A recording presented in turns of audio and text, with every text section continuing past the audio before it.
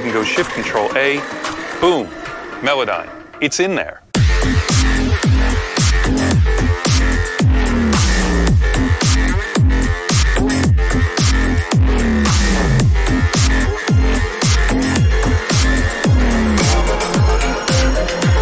I'm Andrew Scheps and I make records.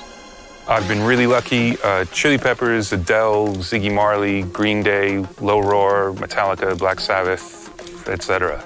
ARA inside of Pro Tools is huge. I've been using Melodyne inside of Pro Tools for years and years and years, and having ARA and Melodyne inside of Pro Tools actually in the edit window has made it just part of the workflow. You never think about sending things to Melodyne or getting them back from Melodyne. You just turn Melodyne on and start working. It used to be you kind of knew you had something you needed to do, and you put it off, and then it was Melodyne time. And you load the audio, you do the work, commit it, and now now you can just put it on, just tune a region, and then come back later and do it. You can edit the audio on the track, and the Melodyne edits follow the audio edits. Uh, so it is just part of the workflow to be used anytime now.